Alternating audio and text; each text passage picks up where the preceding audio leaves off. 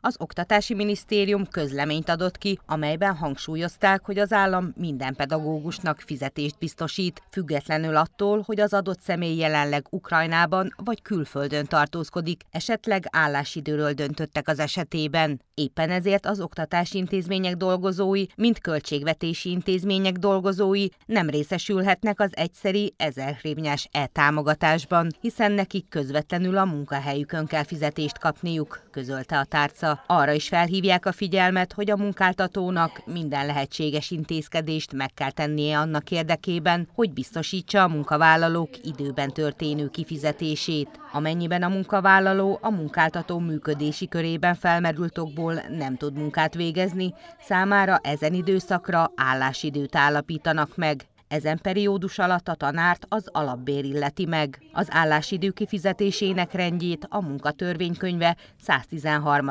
paragrafusának rendelkezései határozzák meg, áll az Oktatási Minisztérium közleményében.